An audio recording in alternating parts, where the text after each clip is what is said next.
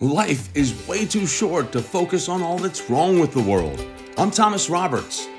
We love you. We see you. We hear you. We know you're there. So thank you for doing this, Thomas. This is Gay Good News. Give me 30 minutes and I'll give you a rainbow.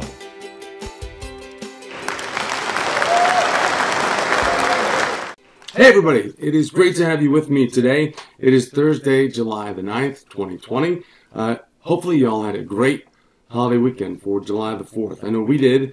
We had some friends over, very small group, and I bought one of those guns, you know, the uh, temperature guns. And luckily, everybody passed. We didn't have any trouble. Uh, and everybody was not offended by it, which was interesting. But also, nobody showed up wearing a mask. So, but I didn't have a mask on either. Uh, I don't know how you feel about the mask thing. Uh, I know I wear mine when I go out, but here around the house, not so much. Uh, speaking of masks, we are fully stocked for our masks. So if you would like to get one of the Gay Good News masks, just go to our website and you can get a mask for yourself. That's Mom and Aunt Pat. They proudly have their masks. They love them. They're very comfortable. Uh, but, you know, masks right now are really a fashion statement. You know, you can see brands that are getting into making and designing masks, and you see things from as basic as a regular hospital style mask to anything from some fancy designer like Louis Vuitton. Uh, but they're genderless, right? Um, they're pretty uh, taste specific, or not not taste specific, rather, when it comes to gender. You know, anybody can get away wearing any kind of mask that they want, uh, and it is a choice, you know, how to express yourself. Well, it's interesting to think about a void there was in the fashion industry uh, for those that were uh, gender nonconforming, uh, for those people that want to express their gender through fashion. Where were they going a couple of years ago to do that? There really wasn't anything. There wasn't any place to go. Uh, Rob Smith saw uh, a business opportunity. But beyond that, he saw a way to give back to the LGBTQ community, a community in which he is part of. And the Phluid Project was born.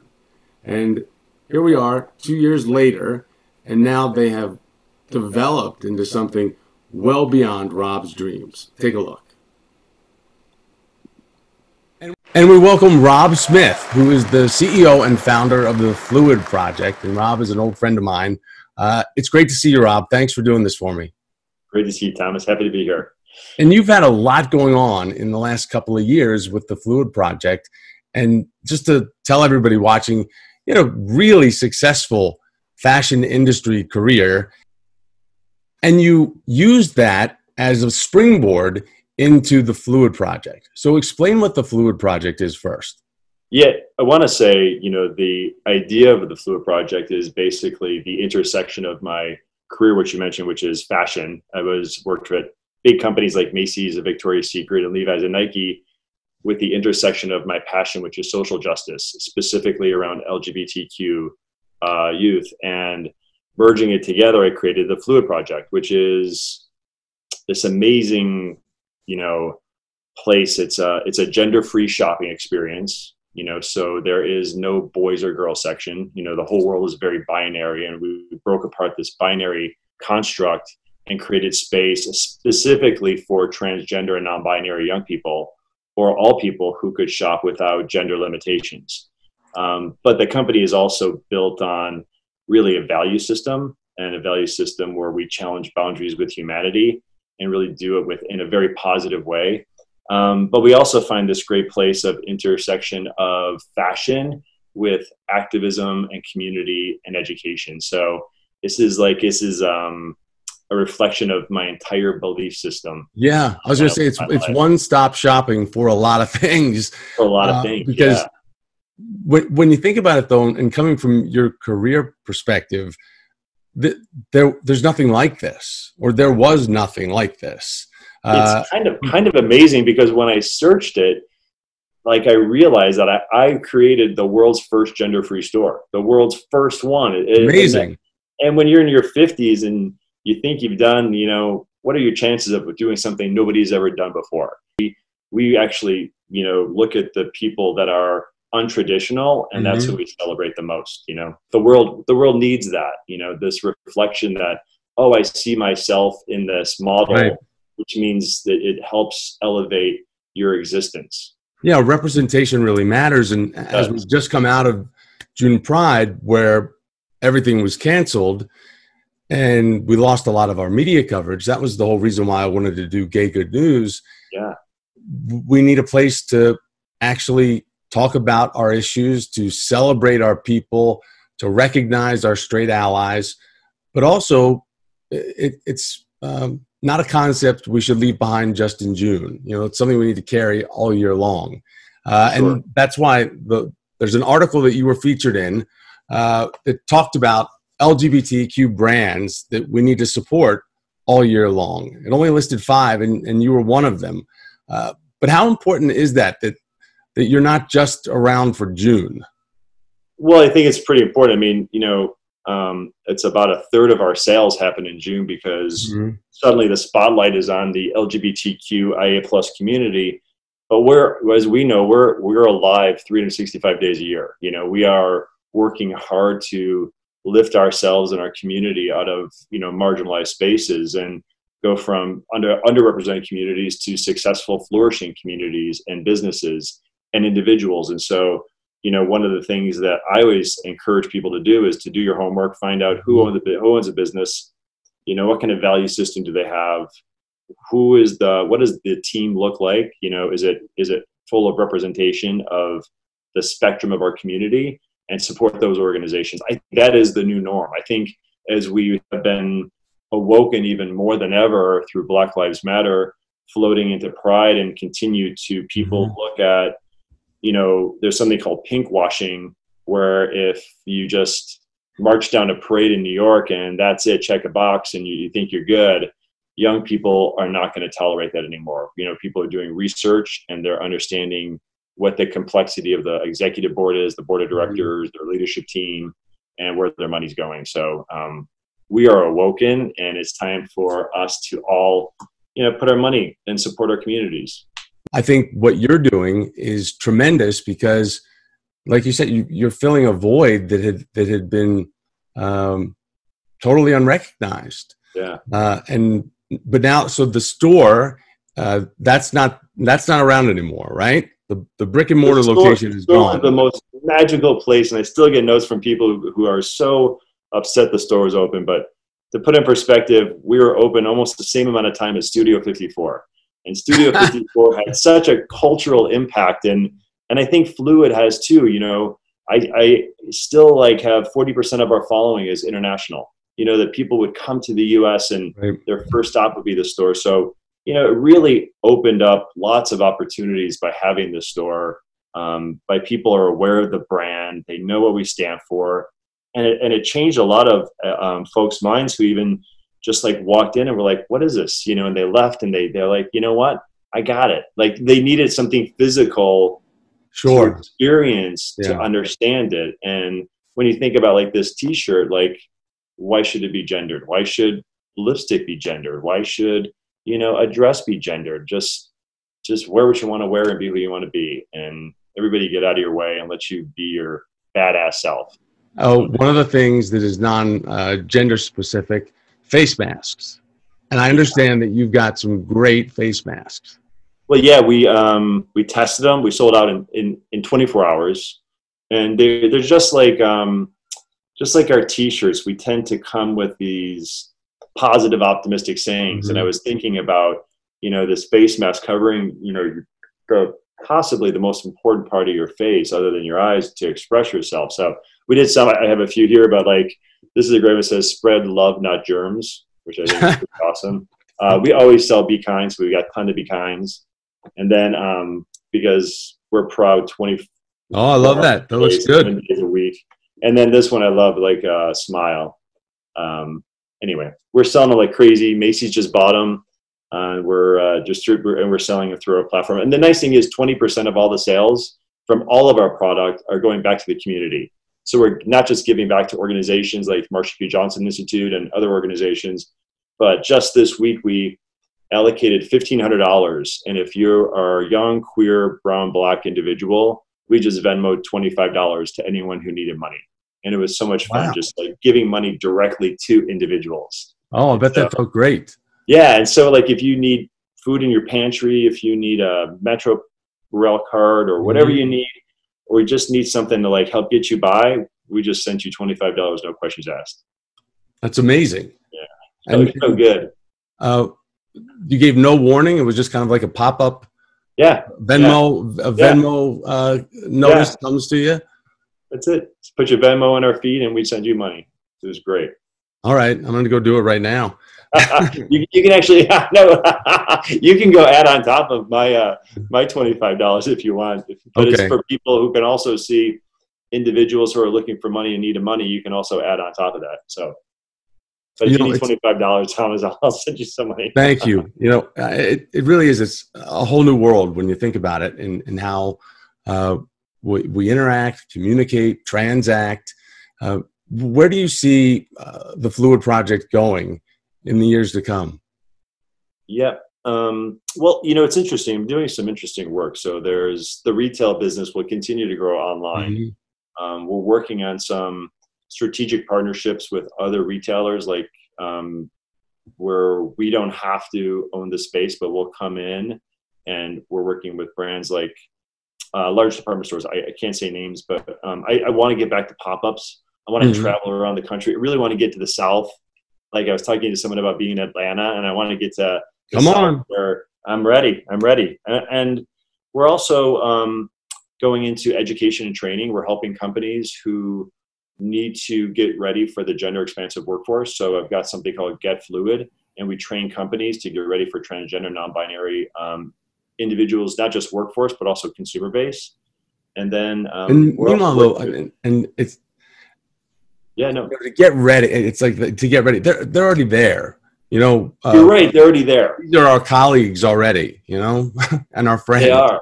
And we, we need to create safe and affirming spaces so they can come out. I mean, you and I probably hit ourselves our sexual orientation when we were young. Yes. When we were young, we, we worked hard to hide our identity because of discrimination, right? Fear and discrimination.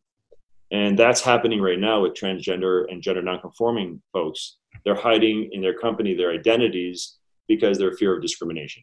Mhm. So it's our job as responsible leaders um, to to lean into this space as opposed to lean away and say this this I'm afraid I'm going to misgender somebody. I'm afraid I'm going to screw up. That's Right, not right. right. Let's That's just leave it alone. Let's just keep it the way that it's always been and pretend it doesn't exist. Right, and that is a form of discrimination, and it's and it's it's not just unfair; it's illegal now. With Title VII happening, hmm you know, um, Title VII allows for uh, gender identities lead to be legally um, represented through the law. So I tell people, don't just do it because it's the right thing to do. Now you got to do it because it's the lawful thing to do. hmm And so we, um, all of our trainers are, are gender nonconforming. Uh, they're transgender, uh, non-binary, you know, multiracial, um, really just incredible humans. And they're the trainers. And then I'm helping companies walk into this space. Like I'm helping somebody who says, "Hey, we want to enter this space, but we're just a little nervous about how to do it, and we don't want to screw it up." So I come in and I help. I did work with Procter and Gamble um, and some other companies on how to enter this space with authenticity. Yeah, and you and you get to hire from the Phluid family too, which is great. So explain how come the PH instead of the F? It's a great question. So, so it starts off with the whole idea of fluidity, and fluidity is the ability to navigate easily between two spaces and these binary spaces. And so, um, you know, the spaces could be the fact that there's freedom between male and female, and gay and straight, or black and white, or Republican and Democrat. And we become so such binary, you know, uh, society that we're we're labeling these boxes. And Generation Z is not; they don't see themselves as one or the other. They're not this or that. They're this and that. And so it's like embracing this idea of the space between, where you can float and play and be creative. And the PH I put on the front because PH stands for balance and the idea that there's this balance in all of us and when we have balance in ourselves and in society we become much better and project at the end because it's a work in progress because it's something that will never be complete but it's a collective group of people working together to make something better. So that's why it's called the Phluid Project with a PH. I love it. And we are all a work in progress together. Uh, Rob, thank you. I appreciate you joining me. Absolutely. I appreciate being here. I appreciate this program. Keep spreading good news. My God, there's enough bad news. And what you're spreading, the, the goodness you're spreading is so appreciated. Just keep doing what you're doing. I will. Thank you, Rob. I'll talk to you soon. Appreciate you. It isn't Rob great? There is the website, and Pat, specifically for you, the Phluid Project. I also texted you, so you can find it. Uh, but they do such incredible work. Uh, and Rob has really devoted uh, the last couple years of his life uh, to this work. And I find it really interesting uh, how this is not something that he has been personally impacted by. And that he, he went into this community to gain their trust and to to prove his you know merit and uh, to, to prove that he was there uh, with good intent, uh, but also to prov- provide community around shopping, which is really cool. Uh, but I just love what they do. So the phluidproject.com.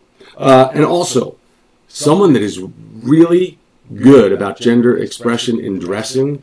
This is my mystery tease. All right. I did an interview today uh, with someone that will knock your socks off. So good. Uh, I want to tell you more. I really do, but I'm not supposed to.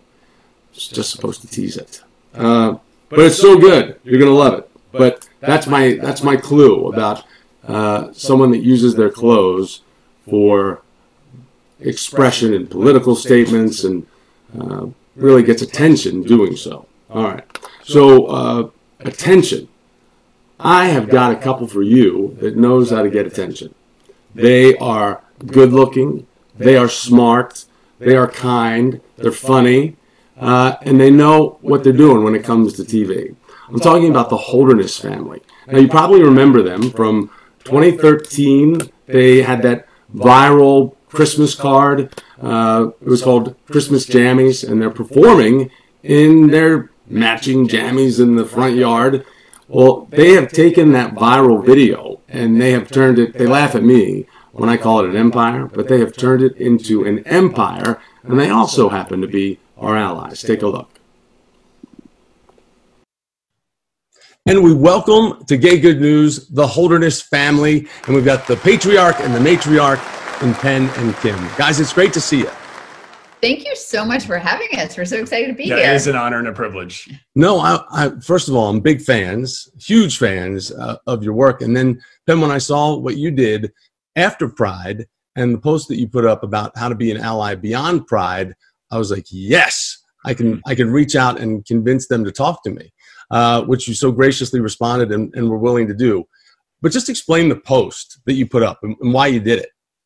Yeah. So, uh, you know, you learn stuff from your parents. You learn good stuff and you learn bad stuff from your parents. And uh, I think a lot of sexism and homophobia and racism comes from being taught the wrong way by your parents. And I was like so lucky to have been taught the right way from my parents. I had a dad who was a pastor in a southern church. And so you tell that to people now, you're like, oh, well.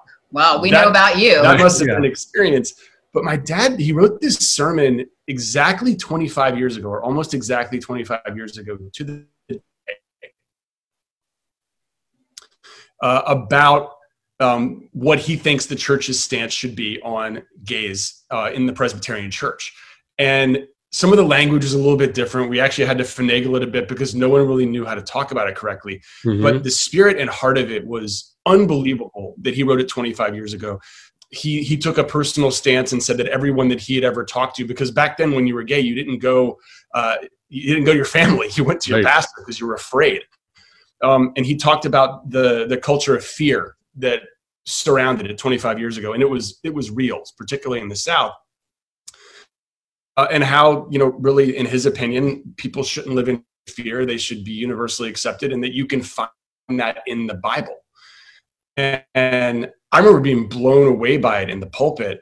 I remember him warning me that some bad things might happen, and they did. A lot of people actually physically got up and walked out of the church. because he was asking people Yeah. to like extend their arms and if you read like to, to like welcome Mhm. the the lgbtq plus community in a way that churches did not do 25 years ago. Mhm. and i thought and if if you get all that context and and it really so penn found the sermon because his dad Oh yeah. both of his parents um, have dementia and they're living in skilled nursing homes. And so we had to actually go through um, and and kind of like do all the stuff you have to do to clean out the house. And he went Penn went digging. He's like there's a and his dad kept all the sermons. He's like it's in here somewhere. It's in here somewhere. And he Dale found found it. My brother found yeah. it. and and we that's the one we've saved because like he he the night before he's like people are going to walk out we're going to lose and you know as a church is kind of like a business you need people butts in the seats right Yeah. so he lost a lot of people but then that he shepherded people through and it really became this like great inclusive welcoming church and it's really an example for us all that yeah even when like maybe the butts in the seats that aren't agreeing with you you still need to say what's right so It was revolutionary 25 years ago, and even looking back on it, there's so much like that that has changed even even since then. So Yeah. yeah. M- Meanwhile, when you mentioned 1995, I mean, I don't feel like it's that long ago. I mean, uh, you know, we're not that old, right? I mean, I it's mean, I- 25 years. i mean i was still like high school but still, Right. no, you're you're absolutely right, though. I mean, I, that, that's right when I got out of college, and I was petrified about coming out. There was still a huge stigma about the AIDS crisis, and if you were gay, you were going to get AIDS. Uh, but I found it fascinating because there were five points to your dad's sermon, uh, and the one where he said that that they're born this way. Uh, basically, this this is not a choice, and that that was huge for 25 years ago because so many uh, so many preachers, so many churches were teaching that this was a choice, and I think Yeah. that's where that probably was, you know, ground shaking uh, for members for members of your church. Uh, but did you ever talk to your dad about why he gave that sermon or what brought him to those conclusions? I can only I can only guess it was because it was what it what was in his heart. Um, I I know for a fact that he's always been a very positive, accepting person. He had spent a ton of time before then um, trying to support like members of the marginalized community in Durham. He's from Durham, North Carolina. There was a ton of poverty downtown. He helped found this uh, this urban ministries center that that helped keep homeless people off the streets. And I'll be honest with you, I think he kind of equated the the people he'd work with there with the gay community because of the same things, because of being marginalized, because of being afraid, and using you know trying to find like an accepting tool for that. Um, Mhm. I know they're two totally different things, but that I think and he did tell us at some point this is years ago that um that they he did have people confide in him that didn't feel safe to tell their own family so Yeah. he's probably standing up there defending these people Right, in his they were own sitting in the pews right there. they're sitting in the Yeah. pews afraid to tell their family can you imagine yeah. that our kids wouldn't have feel comfortable coming to us to say who they are. Like that just blows my mind. I mean, it's, I, and it still happens. it still happens. We like we've been lucky enough kim and i have had friends uh, come out to us like as before they came out to their parents. Yeah. and it was it's like one of the So most special. incredible experiences you ever have in your entire life because like there's nothing but love. Like, this person has entrusted you with like an unbelievable secret. Yeah. And then it, it just instantly becomes a celebration. So it, uh, that happened about 10 years after this sermon um, you know uh, uh, but just going back and thinking about back then when it wasn't it was like a And it's so funny terrifying. that people think because we're like this like middle class white family, we had a lot of people post like, "Oh, I." They were surprised that we had ideas about inclusion and diversity. Well, I wanted, I wanted Because we're you like- because you guys don't really take big political stands. I mean, you we can Well- depend on you to uh, provide great entertainment, great family fun. I mean, you know, we can relate we to all of you. yeah, but we have those. Don't necessarily go viral. I mean, definitely want our whole thing is like we want you guys to laugh, and we want. You, but we want people to laugh at us with us. It doesn't matter, just laugh. You definitely want a safe space to laugh. but also we're humans first and like we need to show our humanity so throughout this like we posted we went to a black lives matter protest and we've shot i mean we have shared in the past like we have shared fundraisers we have shared it that stuff doesn't it's not what we're known for doesn't necessarily mm-hmm. go viral but we have showed it because i think it's important right now especially that if you have any microphone at all any platform you have to stick up for people but let's let's talk about your other work okay. do it yep yeah. but could you have imagined uh, where this would have taken you seven years ago? No, absolutely not. I mean, Seven years ago, he was watching your face at 3.30 in the morning, yeah, right? You were in a, a, different seat seven years ago, but here you are, along with Kim, and now you guys helm an empire. Uh, wow. I can safely say that. I think it's an empire let's let's let's go with a moderately crappy regional cable TV station sort of. Yeah, like I mean, that might be a better computer metaphor. computer is sitting on a pile of laundry, so yeah, let's it not, is. It is. The, yeah. It is. No, I mean, look, there's all these little micro uh, uh, stations. I mean, empires. I'm laughing when I say that. Uh, and if you can, if you can find something that you truly love to do and try to keep the authenticity, um, you can make a living off of it. And we've been very lucky to do that just by kind of looking at each other, betting on each other, and and and trusting in each other as far as like what we're putting out here is is gonna be good. And that's been the. It's not always good. Let's be honest. Yeah. Well, Kim, I wanted to ask you, how how tough is this on a marriage? How tough is it on a marriage? Because you're you're not only in business it's, together well, it's as not, a couple and, and yeah. as parents, but now you're also out there in the business world, uh, yeah. working together as partners. I think it intensifies the roller coaster that everyone has when they have a relationship, don't you yeah, think? Yeah. And so I think we've become, I think a lot of relationships that for my friends are talking about just being quarantined with their spouse and how hard it is. That We we've been doing this for seven years. Yeah, it was good COVID training. We've been so it, we're good. Uh, in fact, to the point that we actually just wrote a book turned it into the publisher. It's going to be, I think it goes on sale next March. Yeah. But about the, mm-hmm. you know, the 10 fights every partnership has and how to get through them because we wrote it with our marriage counselor because we've been to counseling. But I think we fight really well. Yeah. I think that's the benefit of, and we get, and we're very, our, our marriage is very resilient. So mm-hmm. we fight, we fight well, and then we get over yeah, it real quick. And also, this is an important thing. We went to counseling not because our marriage was in dire trouble, but because we just wanted to get better at it. Everyone, mm-hmm. I would say, on average, most people go to counseling when they're already in trouble. And we have this belief that you should do active work on your marriage and your relationship. And that's what this book is for. It's it's not for I mean, most if you look at marriage relationship books, most of them are called like the final straw. It's like a picture of like someone like, like doing this, like yeah, and like that's what. But there's a lot of them, and ours is like, hey, hey guys, everyone read this book. You need this book. Um, yeah. You know, if if your relationship is on the verge of collapse, maybe go to Not a counselor. Book. But everyone else, read this book. Then, then, and how do you get the work done? So you've got that. That's that project going on at the same time that you've got the other inventory of work that you've uh, mastered you know yeah how, how yeah. does that work where do you find it's, the time it's not a boring day uh, I will say, can I brag on you for a second? Sure. So I come up, so the role, it works like this. Like, and I said, so I said, Hamilton's coming out on Disney Plus. You should write a Hamilton like mashup or something. Just write something about Hamilton. He sits down with his computer in about 12 minutes wrote that Hamilton. He wrote a, a, kind of a parody, a mashup of like three Hamilton songs about putting on a mask. He wrote in about 12 minutes. He went upstairs. I hit record on the camera.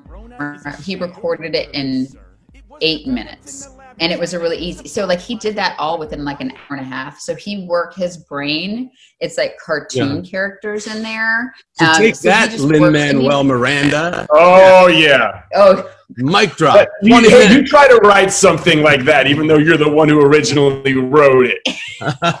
Boom.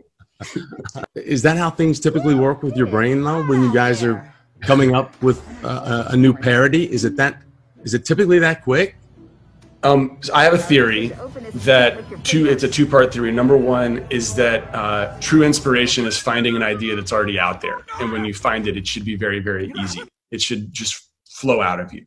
Um, the other, the other part of the theory is that if I spend more than thirty minutes on something and I'm not done with it, it's going to suck. Well, guys, it's been so nice to talk to you. I really appreciate it. Uh, Uh, thank you so much. no, thank you guys. Okay. Aren't they great? Aren't, they are. They are some of the nicest people uh, that I've ever zoomed with.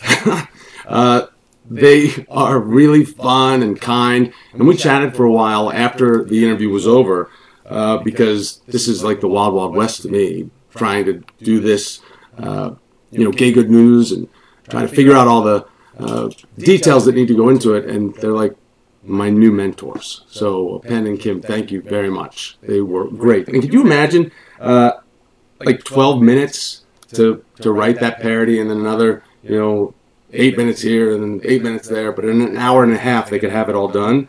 Uh, that is talent. All right, so one picture, Don. I'm gonna pull this picture.